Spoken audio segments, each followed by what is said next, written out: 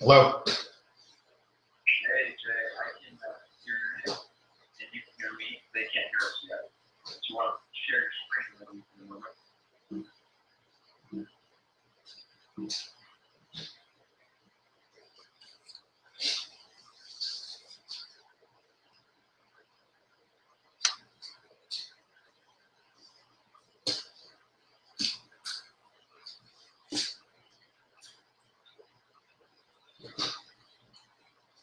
And then uh, you want to go to our web.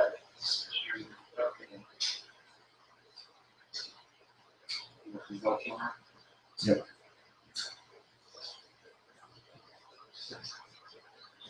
There you go. And I would introduce you, and we can hear you, so we can take over that recent stuff. And I'm gonna introduce you just a second. Okay, great. The broadcast is now starting. All attendees are. Good, good morning, everybody. Appreciate you guys as always for today, Tuesday, we're on. And, uh, Tuesday, I'm also kind of going out of the system. For everything that we have, the power producers of the week, I want to go over these numbers because uh, the week is official. Uh, two dollars for about submitted seven thousand nine hundred fifty-two Illinois streaming, all with Royal Neighbors, all time Great week, John. Uh, we had Sentinel at eight thousand one hundred and twenty-three Illinois streaming, fantastic week at number four Spencer. Sam Chan, nine thousand two hundred and eighty-six at number three, great week, Sam. And our runner-up was Angel Stephanie Gala, nine thousand eight hundred and sixty-three. Great week, Angel. This Uh, but our number one producer and number one submit of the week was Jason Rivera. He's gonna go over a couple of important things that he feels is monumental to our side of the industry, monumental to, um, to being a mortgage protection specialist, as he is a mortgage protection specialist, and then this to that, adding higher premiums to your sales. So Jason did a walking, uh, uh, You did ten thousand eight hundred and sixty-seven in annual fifty thousand in the new a fantastic week, Jason. A lot of more. It's current, having um, not adding financial qualifications form or a fact finder mortgage protection presentation. It's very, very important that you guys are covering the child home as mortgage protection is the lowest thing the family's tree. And to get to the juicier fruit, the unbitten fruit, the unspoiled fruit, you want to make sure that you um, continue to find that trend down this, down this tree. They say that referral or uh, the next sale in the home going to be 150% more commission than the first one. So make sure are, uh, are trying to extract that um, every single one. Once you determine one possible sale is multiple. So Jason, if you're ready for it, I'd, I'd love for you to take this through kind of your sales process down in a week, and then thinking about how does some different rifle premium that you write on the basis. So I'm sure leads help, leads start to come and help, but walk us through what you do in the home to track these types of premiums. Okay, you know, when I did that ten thousand bucks too, I was, I do have to tell you guys that because of the lead flow coming in on a steady basis, that the first two days was finding these annuities. So by this point, I had already found this, and I didn't have any ALP written though. I didn't have any uh, premium written. So at this day on day three, because I believe I took off on Monday and I only worked Thursday, and then the rest is studying, training, and, and, and growing the business. Uh, $10,000 in one day was done. there was, however, one other app here done for about 1100 bucks. So this number is more like $11,000 per week. But in this one sit, this number was accomplished. And you know, by the end of the week, you're getting nervous and you say, oh shit, I'm not going to be, you know, I'm not going to be out in the field on Friday. You automatically know your schedule and you say, I'm going to have to wait till next week. But and we were going to give up. We said, hey, look, this is good enough for us. And you know, Alyssa is actually the one that states, hey, let's keep you going. So I stayed out there and ran into this situation. And I want to explain what this situation entailed. So just to get that number because this can be done in any home too. It just doesn't necessarily have to be just that particular house that I pulled this off. From. But when I bring the, the word value to the table in training, it means a lot to to to the to the uh, prospect at first before they become a client or a prospect. And this prospect, I have to bring value. I can not bring value and be an ordinary rep, Chris and, and everybody. And uh, I can I could sell thirty dollar and fifty dollar premiums all day long. You know, I, I, I can be the ordinary, but I choose to be extraordinary. So I bring value to the table. What is value? Value is what is inside the product that you don't know yet. It's the it's the mechanics of the product that make the engine roar, not just putt. There's like a golf cart compared to my Dodge Hemi it, it really allows the product to be looked at from this point of view, from a higher standpoint than a lower point of view.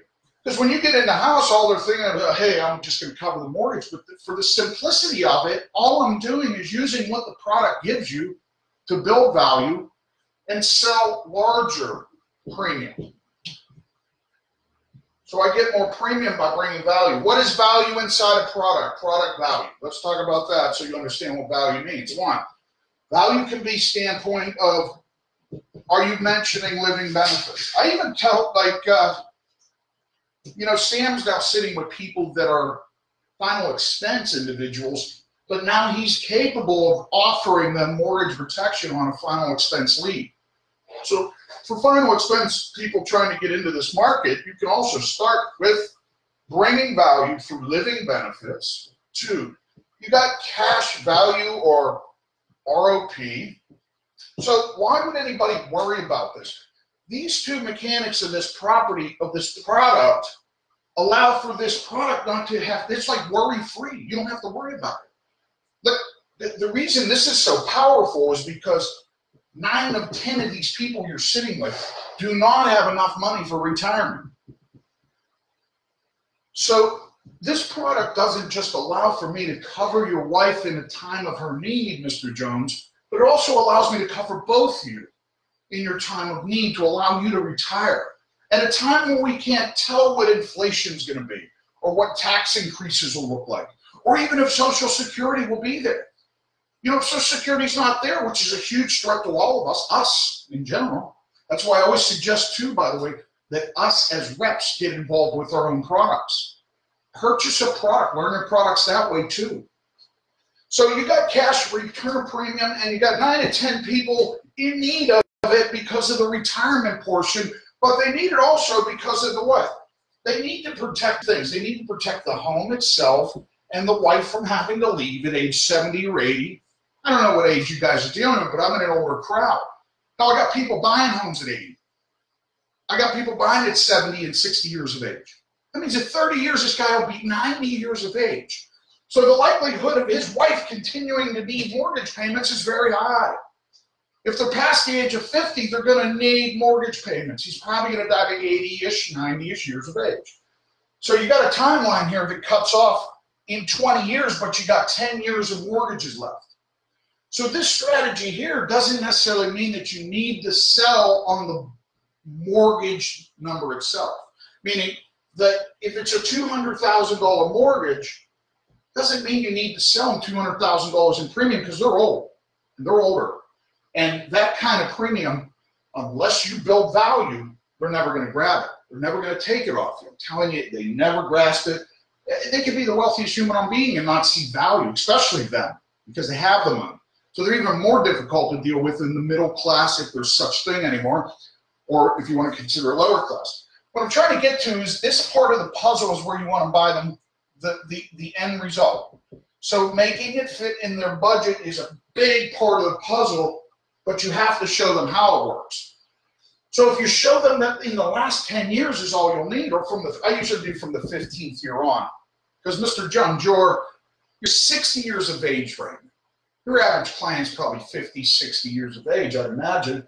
Maybe, maybe in some demographics, 30 and 40. But right as of here, they need 15 years of coverage. They got 200 grand, they need 100,000 bucks. That makes more sense. But I'm going to show them those three options. I'm going to show them 100. I'm going to show them 100 and a half, and I'm going to show them the 200. I'm not going to deter from showing them. Because I've already got this value built. I say, Mr. Jones, God forbid you get cancer, heart attack, or stroke, and your wife's income is no longer here, the math tells me that you also need an income. Now, maybe both of you are forced to sell the home, and maybe you don't like to hear this, but I'm here to protect you from the worst case scenario, not the best case that's in your mind. I'm the worst case scenario life insurance rep.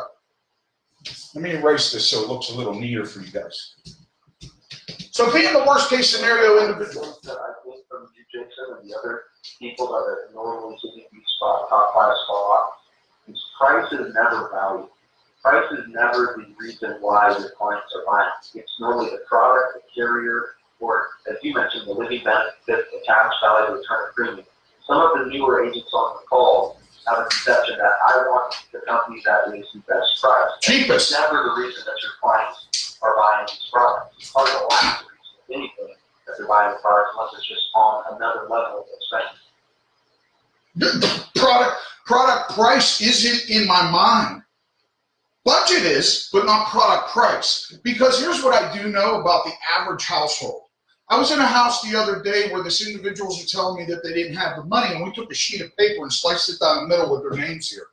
And I said, "Give me your bad habits." I, I listed mine first to show them. Look, this is what I do. I got Red Bull eight days, eight, eight times a day. I got coffee. I got this. I got that. And at the end of the day, within two strikes, his smoking was two hundred and forty dollars a month. His eating out, their eating out habits were kind of five hundred dollars a month. That's 740 bucks out of the 3,500 they have a month coming in. There's something broke there. When you can tell me that these two things mean more than her protection. So I validate this. I'm sure that we can get your budget to an affordable situation where you guys spending 500 bucks a month on eating out his smokes. You're going to have to cut down on them smokes a little bit and we can now protect the home for 250 bucks a month while putting you a retirement schedule away. Because these two are in their 50s and they just started their 401k. Can you imagine what retirement? There is no retirement for it. It doesn't exist. They're depending on Social Security at a thousand bucks each when the mortgage is 1200 bucks. What are you going to do? Survive in 25 years on 800 bucks a month? It's just not going to happen. So all you new reps out there, and all you veteran reps need to start bringing value through the statistics and the numbers that are actually factual truths of running into enough people or just being inventive and coming up with the numbers and strategies that people really, in the reality of their future, need to see or they're going to be hurt. I tell you, Chris, I go in with the heart and love of like uh, of Jesus himself. I just want to help these people so badly that it I think it oozes out of me from an authoritative point of view. Maybe maybe I'm a little pushy, maybe I'm a little loud, but well, they will feel the love through report the point of report to the point of trust as a human, and then report to the point of trust with my products and knowledge of the numbers. So if you guys can get a piece of paper out, even right now, and, and write down a few things, that would be a way to remember this. And, and, and that'd be a great way for you to use this again. Because I'm using, one, I'm, I'm bringing value. And Chris, you're right. Price is not a valuable point, but budget is. Because we have to make it fit there we're not so concerned about what this is. I don't care, Chris. You know, I don't care if it's three hundred, six hundred, one thousand dollars a month. When I can validate the value of that, Value equals strength and bonding between the, the client and, and the product itself. It's like them running into the most sleek, beautiful car that they've ever wanted and wanting it back. Now they want it. They don't just think about it, they want it now. They got to have it. So these takeaways in there help too. So you got the budget involved and you got the price. So this price is the is the point that most reps are selling on when they're trying to get the cheapest or they're trying to go for the largest without value. And without that, my friend, it's going to fall off the books, and I guarantee you, you're going to be out of business real fast. So I'd rather somebody go for the lowest price while working on bringing value to the table. So while you're learning the business, go for something that fits in the budget. While you're trying to teach over time, you'll start learning how to bring value to the table for your newbies. And then, of course, you know, knowing what they have to work from. I, I, I guys, Alyssa can vouch for me. Uh, Chris, when we tell them stories about us in the field, that I get thrown out of homes. I mean, uh, gay women, the butchier one doesn't really like me. Uh, gay men, I'm okay there, but the sensitive one usually doesn't like me.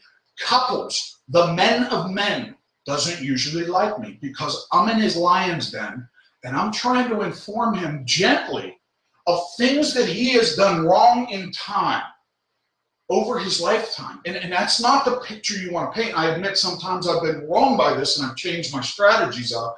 But you do not want to tell somebody that what they've done in the past is incorrect. So you have to come off like they've done a great job to this point, but at this point, they're going to need to re up on a new strategy concept, a new idea. All you're there to do is give them options. All they did was fill out a piece of paper, so listening to you doesn't kill them. It's not going to harm them. I swear to you, you never see anybody drop by listening to what I got to say. And I tell you, nine times out of 10, Mr. Jones, they come out on top. All I need is five or 10 minutes to get this out of me and get it on paper so you better understand your options. And this word here has gotten me through a lot of situations. You know, it doesn't feel like um, I'm selling, but I'm telling. So at this point, I have the ability to take this budget, and I want to know, I really do in my situation. I don't know that this is correct for you to do, and maybe your upline and Chris has a different concept for you. But I will state to them, listen, after the end of the month, how much you how much do you figure that you save a month for for her? I always put things in perspective. Like I want them to see what I'm talking about is for her, for his needs and for her needs. I never just say how much you put away in savings. Because that will look like I'm prying. People don't like that. I will say how much is in savings for her to buy time. So when you don't do my product, there it's gone. You don't take do my product that she has enough time to get through this. Well, we have about 6,000 bucks saved up. It's usually the wealthy that give you more of an issue. The middle class and broke people don't really give you an issue about this because there's nothing to really talk about. There's 6,000 bucks in there and they're taking 300 bucks a month out of what? What's actually left over, Mr. and Mrs. Jones, after you pay all your bills? Is it like you got 500 or below or 500 or above left over? We got 500 above. That because you're closer to 750 or 1,000 bucks. We're closer to 1,000. So out of that thousand, what are you doing with that 700? Because that's the number we could use for a couple things. We could use it for your retirement. We could use it to protect your wife and kids from the loss of this home. We can use it for your cancer, heart attack, and stroke. And if you're out of work and you can't walk, talk, bathe, eat, dress, toilet, transfer yourself around, even drive a vehicle, that this money's yours while you're alive. Doesn't that sound like a better investment? instead of taking 300 bucks a month and jamming it into a savings account that comes with zero interest. It provides you no future. Plus that 6,000 bucks, that's a great job so far, but I want you to continue that. So my strategy would be like more like this. It'd be like, let's continue that 300 bucks a month, but we're going to transfer it into something that earns a little more interest. We're going to give you living benefits. So we're going to provide you with something the banks cannot do, which is give you cancer, heart attack, and stroke coverage. Let me ask you something, Mr. and Mr. Jones. Is that one in your family tree? Sometimes this works, sometimes it does. Uh, my, yeah, my dad had a heart attack last week.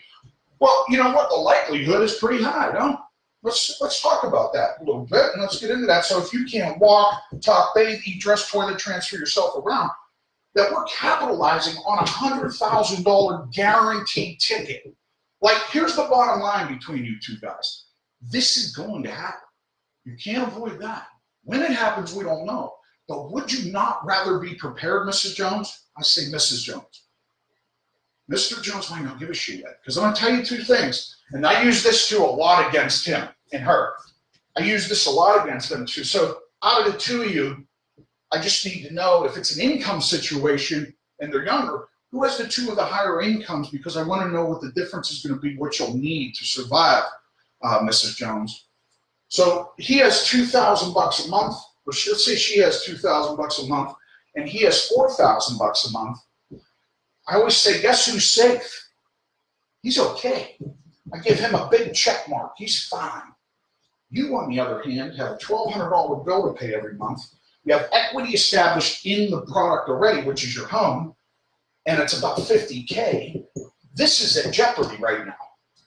It's you against the bank right now when he's no longer here. You have what, eight hundred bucks left over? What are you gonna do with this? While you two have six uh, six thousand dollars a month coming in, you said you have a thousand dollars left over. I would think that it would be very easy to say that you may have closer to fifteen hundred to two thousand on some good months. So would it be an issue if we started looking at 300, 500, and 700 dollar products that act like savings accounts, come with living benefits, and guarantee to pay this house off for you too, one way or the other. Now look at the other part. There's part four. I didn't even get to the fourth portion of the product. You two need retirement. You're gonna need it. Your 401k up and down, up and down in the market, participating in these downsides, wishing upon the upsides, you're gonna need an extra retirement schedule. Not only the bravest put this aside, only the smartest financial people in the world know this. You now have the ability to change your life for the future for both of you. Not just one of you gone and one of you's alive, but for both you. For the rest of your lives. We're talking about the rest of your lives here, guys. And when you take that into consideration and you're already spending the money, by the way, you're already spending the same amount. So I, I may be putting in the scenario that this 300 is, uh, let's say that this is, uh, depending on the age of the individual, of course, let's say this is 200,000. Let's take it up to 500. What's the difference between these two? Is 200 extra dollars, okay? What's that divided by 30 days in a month? You, you can start stripping the extra numbers down and showing them how small it is and showing them where they actually spend it. So as if it's lotto tickets, I have a lady that spends $33,000 a year on scratchy lottery tickets and has never won. In all the years she's been playing, she'd rather do that, he'd rather do that than change their life when it's guaranteed all he could get was a hundred grand. But taking this away from her, so within three years, she spends close to a hundred grand. Goes nowhere. I mean, this is just absolutely absurd to give a woman that much money to blow. When she see the man isn't smart enough. He'd rather see her joy at this time in life than her joy at this time. And men have to start becoming men and really, really, really do the smart thing here and put their women into a position of care and justice and, and, and, and not torment and, and terror because that's what it's going to be. The equity in the home is another weapon for you guys to So I use. got, I, I got a couple of questions that, that popped in that you could just. Sure. That this is always. Don't get me started, man, because I keep going. One biggest things that I want to reiterate, and one of the things that I, I gleaned from Jason is, is energy transfer in the home. Uh, well, the first question I'm just gonna answer, because I know, is do you write like this in the home? He has a, a notepad, a pen and paper, Oh. over contagious pages of showing people auditorily and visually, um, exactly Here. their options. Let me show you. And the second question that you can answer, is what are the carriers that you're presenting that you feel have the most value to your clients? I will go through that. Here's the paper. All we use is old paper that's left over from apps that we haven't written and things like that. We recycle the paper, and then we put it into a clipboard for me, and there's stacks of this stuff. I swear to God, each home is about a stack like that, or it could be a hell of a lot larger than that. So it could be a stack like this, like this. In some cases, for two people, I scratch every single word down for a visual so that it's a reminder this is my paper yes this is me inside the house bringing this word to a picture. I want them to see the numbers. Guys if i'm what i don't know any other way to do it today. Today's getting harder than ever. When i started seven years ago it wasn't this tough to do this. But now it's becoming tougher to sell these people. But long story short yes i do use the paper and if you want to know more about details about that, we can talk later about that. But as you see me writing, just imagine every piece of paper I've gone through just to train you is the same thing I do for the client. Photos. I want them to have using their eyes and ears and even touch. So I'm using sensory things going on in the home, you know, to bring value. So my products to go to, uh, you know, I, I easily state that to Alyssa, I really don't have a favorite one. I'm not that guy. I have the ones that I see. I do so many different things inside the home that I adjust to their. I always use this word too. Their needs. And, and guess who created the need? Because when I walk into a home, they don't even know what the hell the need is. They really think that it's just for the mortgage, but it goes beyond that to bring value and get more numbers out of them. Now, when I say get more numbers out of them, I'm actually doing the right thing for these people's futures. I'm not just doing it for my bank account, I'm doing it for them. I could get term products sometimes, but I won't do it because I know it won't last them the rest of their lives and I know that it'll hurt them in their 70s and 80s. I'm okay with you doing it. I won't do it in this area. And nine times out of 10, because of the age of my individuals, I can only get them 10 or 20 years a term because of the age.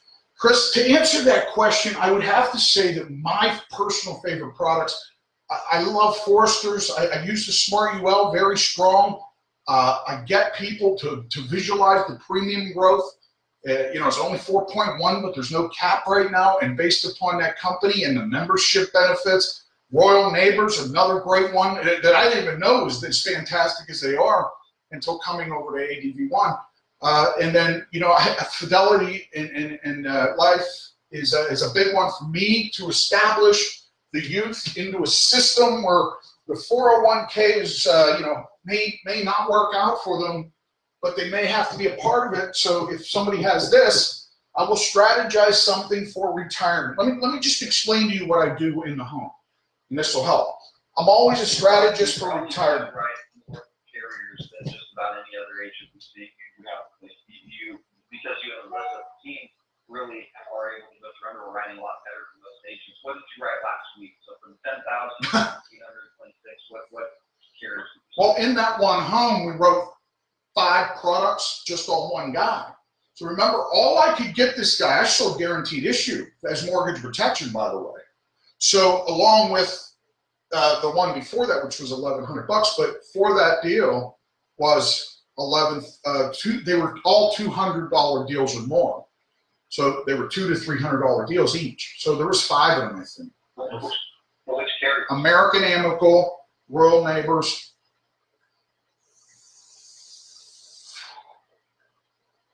uh, AIG, and I would assume, I think it's Foresters, to be honest with you. All, And fair enough, but then you're, you're, I already know the answer, your duty of choice always, all the way all day. well, I, I know you want to say this, but I have a new strategy that I wanted to tell you about, which was if they're six, if they're older, the bottom line is, is yes, I will bump them and encourage the bonus. I will bump them and encourage the bonus. Hey, look, doesn't a million dollars look better now that it's like 12% bump or 13% bump now, and it's like 15% too? At a $150,000 bonus, can get a lot of mortgages paid off overnight. So I use that strategy to pay off mortgages. But if they're younger, I am a huge believer in the higher of the two interest rates that I've noticed, being Fidelity Life over time that they can really possess a stronger outcome for them in the longer run. So it really does come down to the youth using F and G for me. Now that I have the strategy, Chris, but I haven't got to use it yet. But uh, for the older people, I'm going to tell you why. In my area, I go against three tough son of a bitches when it comes to selling annuity products. These annuity products are being sold by these people, and they already have the awareness of Athene. So my calculation tells me I can either walk away from this or I can sell them on Athene, and that's the only option I have. I can't really force this down It's hard, it's hard, it's hard to, to compete with the theme bonus. There's nothing better uh-huh. in the country right now than that bonus. And most of the agents on the call, they push Athene as well. Uh, I just want to make sure that they have your take on necessarily the bonus strategy as well yeah, it, the bonus is where it's at. And, you know, telling people this, you know, for some of my clients, Mr. and Mrs. Jones, I'm able to get their homes paid off in anywhere from one to five years. I do want to share that strategy. Remember, I told you I'm here to give you all your options. So, as a licensed representative of the state of Florida, I'll now do that. So I, I'm reminding them of who I am. I'm sharing with them I am licensed. I'm letting them know that this bonus, if I find a million dollars, and I have, you know, that's one hundred and and believe it or not, I've had people walk on it too. The, the, the strategy of their 30 year relationship is what you have to break up with a stockbroker. Good luck, because it's very difficult unless you know this product very well. And I'm telling you, I always, I'm screaming out, learn the products, learn the products. If you want to sell annuities and get the bigger numbers, anything below 500 grand, you won't need as much intelligence. You can sell from $100,000 to 500 grand and not need as much awareness to the product as you will from 500 to a million and above. If you want to get to these particular numbers, you learn that products and its inner workings. Like every product we have is a machine and it turns. It's like a crank. You turn a key, it cranks up, and it has all these moving parts to it that you're not using. And if you want to get more premium out of people, I promise you, if you bring more value through, how about let me go back real quick, Chris, to this word here, because I want people to write this down, and I want them to start creating this word. The the need. What is that? That that need when we're in the home. People are they wonder it's just mortgage protection, right? So we're, we're here to protect the house, absolutely. Sometimes you can get people confused, so you'll watch doing this too. So you can have people say, "Hey, uh, I thought this was mortgage protection. Now it sounds like life insurance." Okay, yeah. It, the, the, what are the two differences that you could explain between those two? And you might run into this between this not being life insurance and this being mortgage protection. Well, life insurance usually has a termed out date to it, or, or, or it comes in term products at your work or it has a whole life factor where it just earns a little cash value and it's there for your final arrangements. It's death benefit, basically, final expense. This is where you get the larger numbers. You also get living benefits. You get cash returns on your on your premium payments. So they actually designed it so you get all your money back. And they give you all these living benefits like cancer, heart attack, and stroke, and all this stuff. And then they have this death benefit that's enormous. And then they get the factor of retirement schedule put into it too. So they got four benefits for you built into one product. Living benefits, cash return on premium, death benefit, and retirement schedule.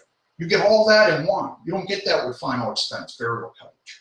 So that's the difference I usually So explain. One, one, one of the questions coming through, and this is where I just want to make it clear, Yeah. down to the new agents. They'll, they're looking at like American Amicable term product, Foresters' term product, and just saying, I don't know what that is, because my products don't have this. What kind of product are you offering that has the living benefits, cash, value, death benefit, and retirement? Yeah, a lot of them will come with. You got Foresters, which you can use, which is the Smart UL. I'll just list them. You have one, Smart UL. What, where you all at?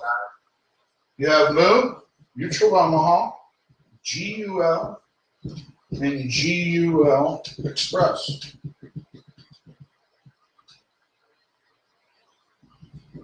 Number three.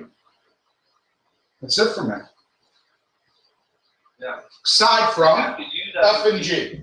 in the same life, but that, that's just bread and butter. Smart UL with Foresters grows interest just about as good as any IUL out there.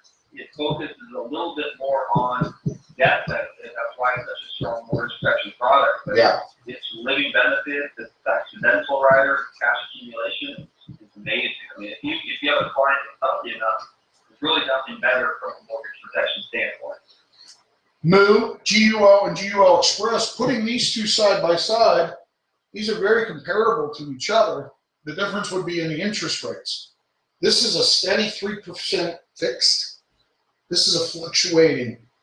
So this, I've seen this at six, I've seen this as high as 5.85 is where I've seen it highest.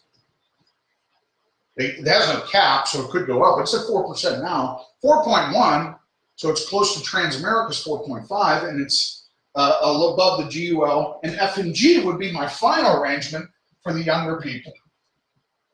You don't want to get into the F and G index universal life products until you've studied this. Use this product, these two products first, because this is where I started.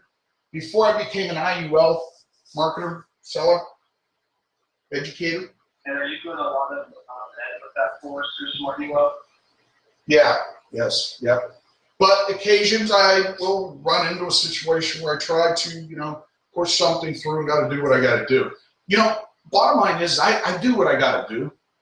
And whatever that case is, I will work until we're laying on a floor gasping for air. You know, this job is not simplest of jobs, and especially in my area. I don't get the comfort of dealing with the the simplest of people. The elderly people are not, you know, once they're retired, they expect everything under the sun given to them and, and almost for free. So you have to bring monstrous amounts of value. You have to get the mechanics down of your product, which are what? I mean, let's just make that real simple for people to understand, Chris. Let's just get the mechanics down of what brings the most value in a product. Those products that I just listed, by the way, the, the value and bullet points that I would use is that, of course, the death benefit is larger than in final expense. So you have this checkbox. You have the living benefits, which are enormous for why? There's two reasons why that's enormous. There's actually three. One, let's put A here. It's for him himself. Let, us say it's on Mr. Jones. Nine times out of ten, too, by the way, you're going to be covering the man has the face amount on him for the woman to receive. It's usually how it works out. B, for both of them. Now remember, these products have a lot of mechanics. It's for him if she's gone. If she's no longer here and he can still continue to pay the product, he still has the ability to keep these living benefits for him later on. See, I sell this product in this area to older people based on getting, getting cancer, heart attack, and stroke. I don't just need it for death benefit. I can sell, I you know what, Mr. Jones, I got a policy that'll cover cancer, heart attack, and stroke. It'll give you $100,000 while you're still alive. So that's huge. And guess what? It also gives you all your money back. They wanted to know what your, it's Jason's in Florida. He's about an hour outside of Orlando. It's a huge senior market, so a lot of his mortgage protection are 50 plus. Oh yeah, oh yeah, even older than that. it's called the Villages, Florida. It was created like 25 years ago by a guy that owned a a, a, a trailer park, owned two of them, and now he's worth billions started this development and it's never stops growing. It's miles and miles of $300,000, $400,000, $500,000 homes. And this is where